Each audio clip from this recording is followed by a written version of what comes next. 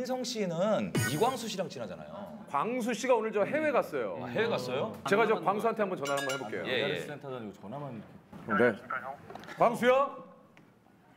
뭐하니? 저 지금 말레이시아예요.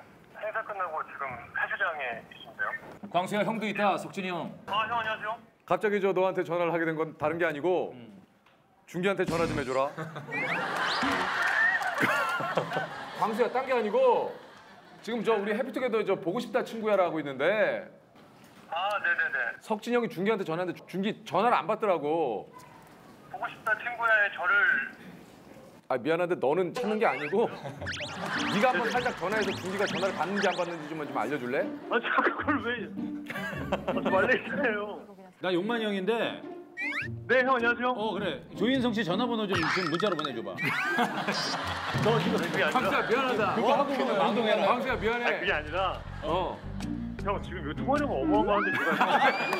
아 광수야 미안하다. 아, 제가. 내가 제가 오면은 내는. 형이 그거를 저기 다 해줄게 걱정하지 마. 야, 맛있는 거 사줄게 형들이 어 걱정하지 마. 아니, 보내드리는 거 어려운 게 아닌데 형 기분이 좀 별로여서 그래요. 형, 저도 지금 말레이시아에서 장난 아니었어요, 좀 전에. 말레이시아를 몇 번 얘기해. 광수야. 형한테 보내면 돼요? 문자로 보내야 되면 문자도 또 돈인데. 보낼게요. 야 저기 형한테 보내. 아, 형 카드 하지 야 깨깨부터 형한테 보내. 아, 광수야 그리고 너도 하여튼 이 해피투게더 네. 이제 또 600회 되면 그때 또 스타 돼서 나와. 알았지? 너도 스타 언제가 너도 이제 곧 스타가 될 거니까 지금 많은 분들 좋아하시는데 스타가 돼서 꼭 나와.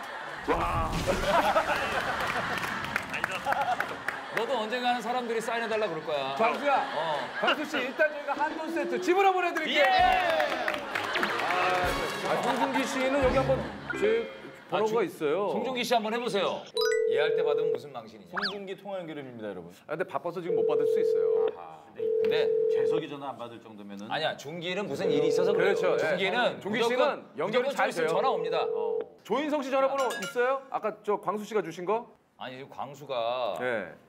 보내라는 톡은 안, 안 보내고 팬미팅 사진을 계속 보내요. 네? 아, 아, 그러니까 이거 자랑하고 있어 계속.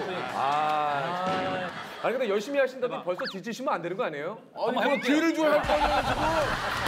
전화기 여섯 명 퇴근했어요, 여섯 명. 우리 우리 희망이야. 기다려봐 기다려봐.